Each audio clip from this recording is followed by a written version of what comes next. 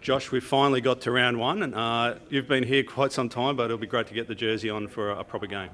Yeah, definitely. Um, I'm very excited to be able to wear the Storm jersey. I guess I, when I first come down here, I come down here for an opportunity to learn and grow um, under some of the best players and coaches in the game. I guess you could say. So um, to be able to, you know, wear this purple jersey so early on in the season, yeah, I'm very humbled and I'm very excited. Was it a goal to be there in round one, or hadn't you set yourself that goal? Um, obviously, I had hopes, and you know, you sort of dreamt of being able to uh, you know, play around one. But you know, realistically, it's my first preseason here. I, I wasn't sure what to expect. Um, you know, obviously the Storm has a lot of quality players, so.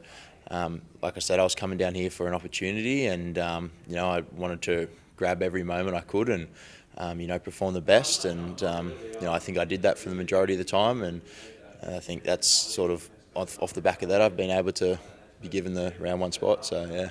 And the bonus is it's a starting spot, which uh, you haven't seen too much in, in, recent times, but you've got it this week. Yeah, definitely. Um, you know, that's an, like I say, another just another little accolade, I guess. That's you know, it's exciting for me to be able to start with you know two front rows like Jesse Bromwich and Christian Welch, and um, you know, I'm, I'm really excited, like I said, and uh, just can't wait to get out there.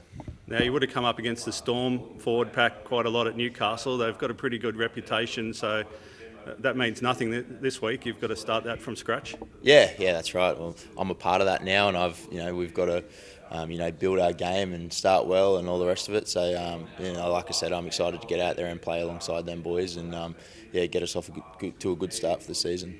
Have you noticed there's a bit of a brotherhood for the forwards here in Melbourne?